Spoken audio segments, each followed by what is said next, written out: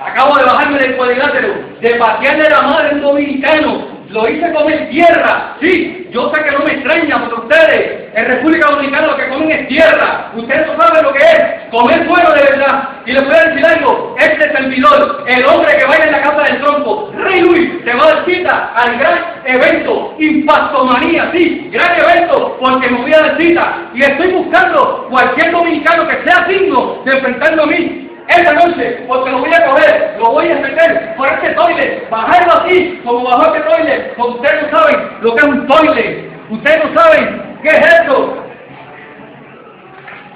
Agua limpia, pura de Puerto Rico, ustedes no saben bochornan. Yo quisiera que traerme par de dominicanos, pero para para que sepan que en mi país, en Puerto Rico, se come bien. Hay la mejor agua fresca y hay los mejores gustos.